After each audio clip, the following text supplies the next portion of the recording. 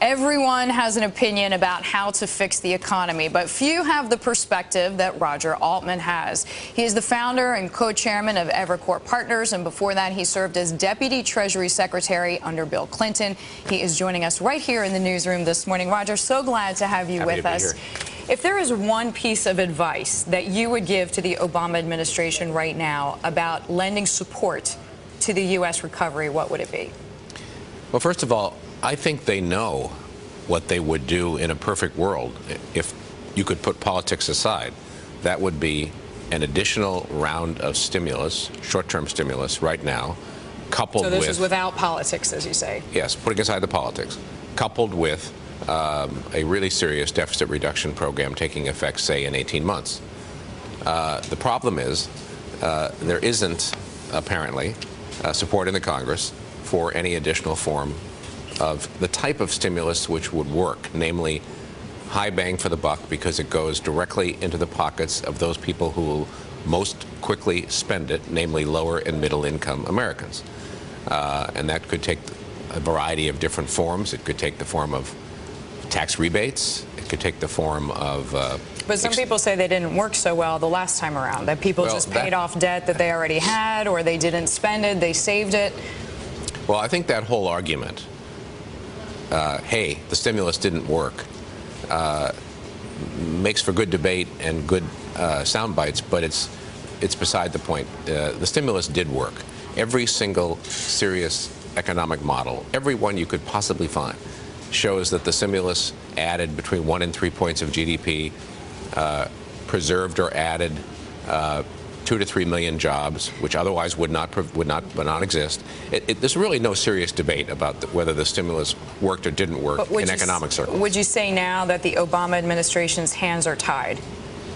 I think they are tied as far as additional short-term stimulus is concerned, and that's evident by the fact, or evidenced by the fact that the president doesn't want to even use the word of additional stimulus because it's taken on a charged connotation and a sense uh, of, of, of, failure, even though, in fact, it didn't fail. All right, so in a way, if the administration can't help uh, the average American or the economy, what can it do to help the business community if we go with this trickle-down idea? I mean, you're a Lehman alum, you're a Blackstone alum, you founded your own company. What can the administration do to support business that, in theory, would create jobs? Well, the president, about uh, two weeks ago, uh, made a series of additional proposals, which actually do constitute stimulus, even though they weren't described as that. We all know one was to permit businesses beginning January 1, 2011, to write off capital expenditures made next year. In other words, immediately expense them. The second was the extension of the R&D tax credit and so forth. But what Those, if companies are so worried about the future that they don't spend? Well, first of all, I think most businesses uh, like those two ideas, like the idea of expensing uh, uh, capex immediately, and like the idea of uh, at least a lot of businesses for which it's relevant, an extended R&D tax credit.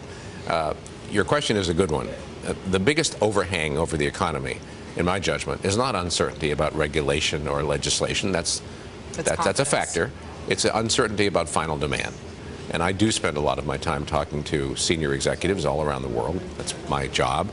Uh, and they all talk about the uncertainty of, of, final demand, much more so than they talk about the uncertainty of healthcare regulations or financial reform regulations. I won't say that's not a factor at all, but that's not the key factor. You say what is needed is more stimulus now. The Obama administration's hands are tied politically. But you feel, I feel like you're making the argument for more stimulus now and then maybe 18 months down the road, a deficit reduction attack plan. Uh, that's not likely to happen, as you mentioned, because Congress apparently doesn't want it. Let's tackle another subject that is somewhat aligned, and that's the tax cuts. I know you've said, as far as the Bush plan goes, your idea is to just let everybody off the hook for the next 18 months and then let all of the tax cuts expire in the next two years. Is that right? Well, that's one way to do it. Uh, uh, I, I actually think that uh, a better way to do it is is the, is is the way the president's suggesting it, and it fits into the conversation we just had. So, if one wanted to do additional stimulus, one way you would not do it is to extend tax cuts for people like me. Why? Because the proclivity to save among high earners yeah, is such that it doesn't get spent, it doesn't immediately impact the economy. so one thing we should try to be clear about is that the debate over extending the upper income tax cuts is not a debate about assisting the economy because that's a very low bang for the buck approach. Uh, so my own view is, and there are a lot of different ways to approach this, but my own view is it's probably best to uh, uh, extend all of the middle class tax cuts, although I would not make them permanent and preserve the right to cancel some of them if we need to for purposes of fiscal policy, but not extend the top two brackets uh, and allow them to return to the Clinton rates of 39.6 and 36. During those Clinton years, uh, uh, we had the best economic performance in the United States in 40 years. We had 22 million new jobs. We had every single income category, in, uh, every single income quintile see big gains. We had all-time record in the stock market at, at, a time when we had the, the, up, the two upper rates, which the president is proposing to reinstall. So the argument that, wow, if you put those rates back up to 39.6 and 36, it's going to be uh, it's going to crush the economy. I just don't get it because it's completely belied by the evidence of the 1990s.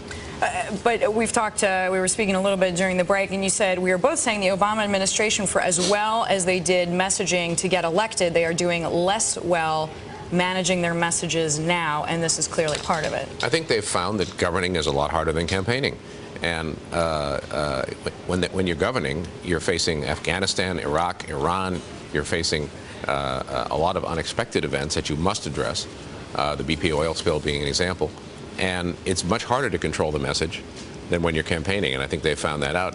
although I do think they could do better on the economic messaging than they've done. All right, Roger, it's hard to have you here and not talk a little bit of business. I mean, obviously you founded Evercore, you're Blackstone alum, Lehman alum. What do you see as the financial landscape right now, especially as far as your specialty, M&A? We've seen a lot of PE activity pick up. We see M&A activity picking up. So even though this larger picture, this backdrop seems somewhat gloomy, do you feel like there is a pickup? Is the outlook brighter for Wall Street? Well, the outlook is brighter for the businesses uh, uh, that we're fortunate enough to be in. Uh, and I think in general, it's somewhat brighter for all of Wall Street. There is uh, a modest recovery, but a steady one going on in terms of global M&A. The, the data is clear about that. Volumes are higher, uh, and uh, I believe that will continue to pro to progress because M&A tends to go in these long cycles, five to seven year up cycles, two to three year down cycles. I think we're in the second year of a long-term up cycle, and we'll see continued higher volumes, although only moderately. And then uh, uh I think as you said, PE, other other transactional uh, or large transactional activities will improve. Is the U.S. still the place to be? We did a poll, a Bloomberg exclusive poll that showed the U.S. as sort of fourth uh, runner-up almost for the top place, three places to invest. I know Evercore just made a sizable investment in a Brazilian investment bank. Is the growth elsewhere right now? Well, the, the biggest uh, uh, GDP growth, I, I, think most people feel, is going to be in the big emerging markets led by China, India, and Brazil. Uh, just given the where those uh, countries are in terms of income per capita and GDP potential and so forth, and they have higher absolute growth over the medium term than the mature economies of the United States, Europe, Japan, and so forth. Uh, nevertheless, I still think the United States is the world center of entrepreneurship, of innovation, of technology, uh, and I, I, do not buy into the idea that our best days are behind us. Absolutely not. All right. We still deserve a medal after all. Thank you very much, Roger Altman, joining us there, the co-chairman of Evercore Partners, former deputy Treasury Secretary under Bill Clinton.